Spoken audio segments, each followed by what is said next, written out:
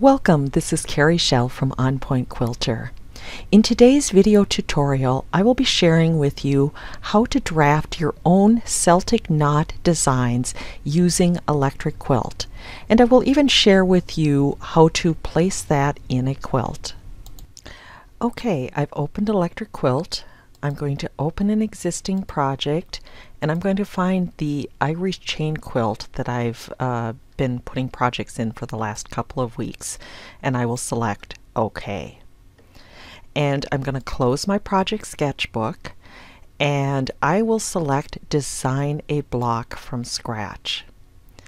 And for this block, I'm going to make it an applique motif, which basically means it's an applique shape, but it doesn't have a background. And so I will do a new block, applique, motif. For the precision toolbar, the block width and height are 6, uh, snaps, um, I really don't care. I'm going to change it to 4 just to eliminate some clutter. Uh, no graph paper. In terms of snapping options, make sure that snap to nodes is on. Um, I also want to make sure that auto join segments when drawing and I'm going to turn on snap aligned segments. And I will also have on the hide show autofill on closed patches. Then I'm going to go to the tracing image, import image, and I'm going to find my uh, Celtic love knot and there is actually a copy of this on my blog post that you can import for tracing as well. And so I'm going to uh, trim this down a bit and I will select OK under the crop image. So to create this, if you look at the Celtic Weave, there are basically three different segments. Each of these segments will need to be drafted separately. I am going to go to my drawing tools and I'm going to start with the straight segments. And so I'm going to use the draw tool and use a line. And I'm going to try to go on the outside of each of the segments. So to draft this, I will do a click and hold and drag from one corner to another. I'll release at the corners and re-click. Because auto join is on, as I am doing this, it will com uh, combine the segments. Now, because I have autofill on, it is filling in and that's sort of my indication that I have found the start and the end point. And if I want to, I can use the edit tool and just clean up the nodes. Now I'm going to do the same thing for this uh, middle segment. And I can see that um, when I get down here, it's off a little bit. So I'm going to use my edit tool and just move things into place. And I can zoom back out. Okay, so the tough one, of course, is the one with the curve. So for the draw tool, I'm going to select the brush stroke. For the contour, I'm going to select the first one, which has the same width throughout. And for my end cap, I want uh, a very flat end cap. So now what I'm going to do is I'm just going to trace a line from here to here without stopping.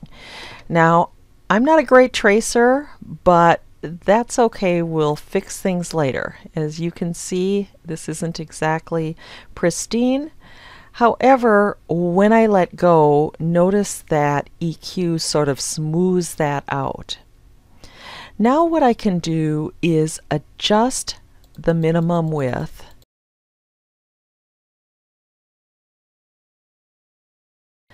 I can also use the edit tool and you can see with this that really there's three nodes. There's one here, one here, and one here. At this point, my biggest thing is I'm trying to adjust the curve and adjust the width. And if I need to make it bigger or wider, I'm going to use my pick tool and select it and I'm going to bring up the minimum width just a bit. Once I've got my curve pretty well done, what I'm going to do now is select Convert to Patch, and then it's going to work very similar to any other applique patch. So I can use my Edit tool and I can still adjust, right, because the ends were not necessarily right on, uh, but I can clean that up. And I can hide show autofill so I can even get a little bit better view of that.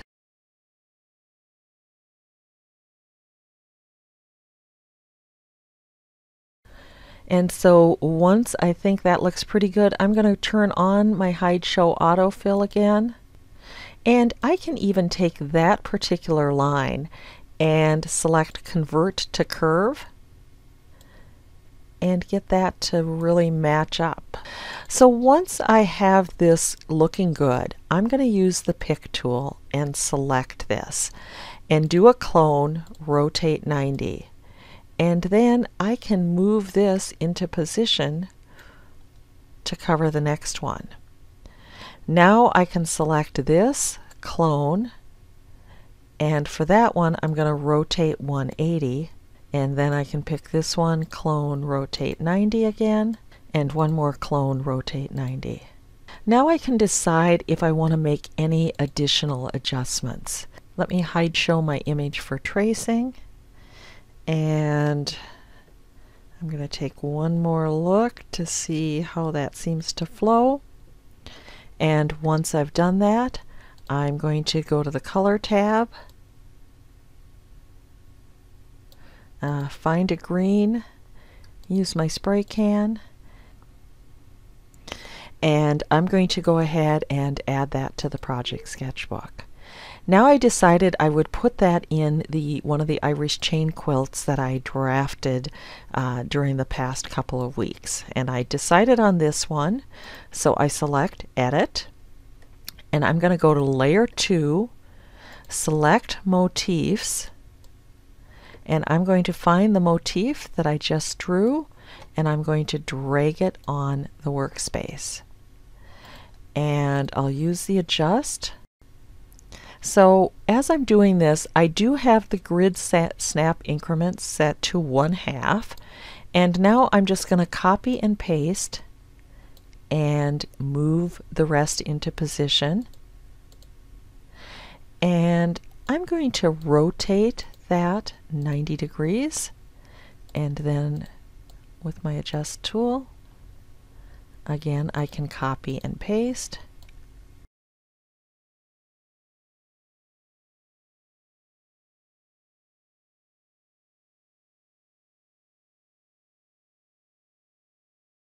and then I'm going to hide show uh, quilt patch lines to get a feel for what this will look like when it's complete and I like that so I will add that to my project sketchbook. Thanks so much for watching. If you would like to improve your own electric quilt skills, feel free to check out my online classes at www.onpointquilter.com.